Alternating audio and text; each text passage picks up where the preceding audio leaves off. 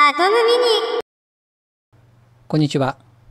8月7日から携帯電話サービスマイネオは運営するコミュニティサイトマイネオにおいて OpenAI が提供する生成 AI チャット GPT を活用した Q&A サービス一緒に成長僕らのマイピョン博士の提供を開始しました。本日はこの件と私の感想をお伝えします。まずは、マイネオを運営する株式会社オプテージのプレスリリースを見ていきます。こちらがプレスリリースになります。マイネオチャット GPT を活用した Q&A サービス、一緒に成長僕らのマイピョン博士を開始。コミュニティサイトマイネオがユーザーとの競争を加速。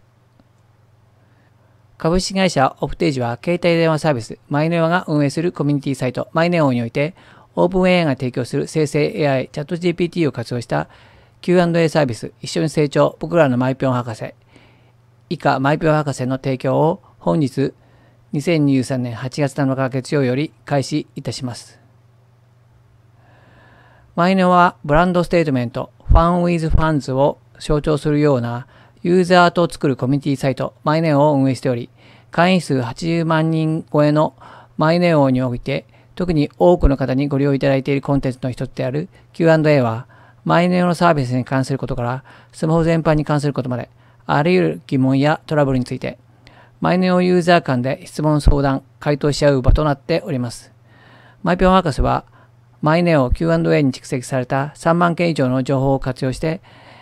マイネオの公式キャラクターマイピョンが、マイネオユーザーからの質問投稿に AI で自動的に回答するサービスです。具体的には投稿された質問と類似の質問を Q&A からベクトル検索し、その質問に対するベストアンサーをチャット GPT を活用し要約した上で、キャラクターの口調で話すマイペア語で親近感のある回答文を生成します。これにより、従来よりも素早く問題解決いただけるようサポートいたします。また、マイピオ博士の回答に対する評価をマイネオユーザーからフィードバックいただくことで、回答精度を向上させていく仕組みとなっており、ファンとの競争を重視するマイネオは、マイピョ博士をユーザーの皆様と一緒に育てながら品質、利便性を高めていきたいと考えております。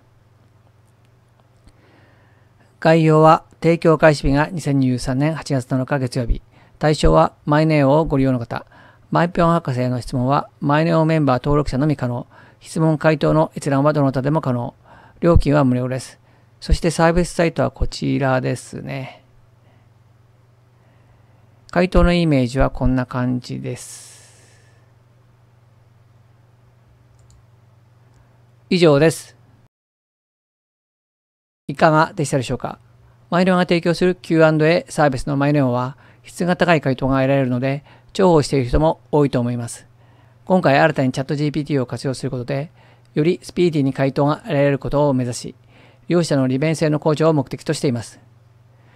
質問したいことがあって過去に同様の質問があった場合には従来よりも早く回答が得られるでしょうね。